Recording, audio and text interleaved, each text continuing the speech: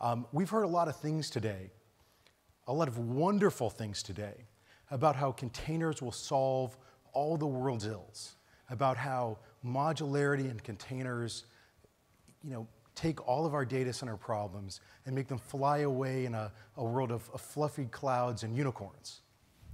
Um, you've been told this by folks who sell containerized data center solutions or who've purchased containerized data center solutions or who are some way in the, or, who are analysts who sell research papers about computerized data center solutions. All these people have something in common. They've bought into this idea. And it's not a terrible thing to do, but I think it is sort of worthwhile to hear from someone who hasn't necessarily bought into this idea that the containerized data center is going to change the world. This talk is fundamentally about what modularity, modularity can and can't do for you, not for me. It's not about what I'm selling. It's, it's not about my, my great modular solution because I don't have one. It's also about innovation. From RagingWire's point of view, the question that we have to ask ourselves right now, we're sort of at an inflection point in data center development. Well, we have to ask ourselves, are we ready to wave the white flag on innovation?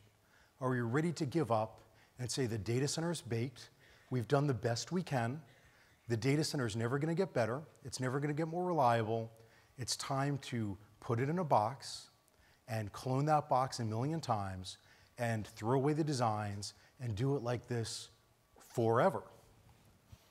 Are we ready to declare that our data centers will be uniform and uniformly mediocre in the years ahead? Do we want to build data centers that are like Lego blocks, that are all alike, reliant on mythical software to perform remedial actions while our electrical and mechanical systems fail? Some folks here, some folks you've talked to, some folks you've heard from at this event clearly think that that's what we should do. At RagingWire, we're not ready to throw in the white flag on innovation. We're not ready to say that we're done innovating, that we're done making the data center better. So let's talk truth about modularity. This is a complex issue.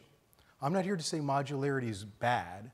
I'm not here to say it's a bad solution. I'm not here to say that for some folks, the containerized solutions we've been talking about today aren't in fact the ideal approach, because for some people, they are the ideal approach. The question is, who are, the, who are they a good approach for?